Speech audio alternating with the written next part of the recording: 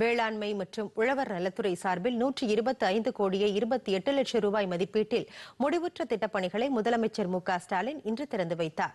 சென்னை தலைமை செயலகத்தில் நடைபெற்ற நிகழ்ச்சியில் பதினோரு ஒருங்கிணைந்த வேளாண்மை விரிவாக்க மையங்கள் நான்கு ஆய்வுக் கூடங்கள் ஆகியவற்றை அவர் திறந்து வைத்தார். தமிழ்நாடு வேளாண்மை பல்கலைக்கழகத்தில் பன்னோக்கு அரங்கம் உள்ளிட்ட கட்டடங்களையும் அவர் காணொலி மூலம் திறந்து வைத்தார்.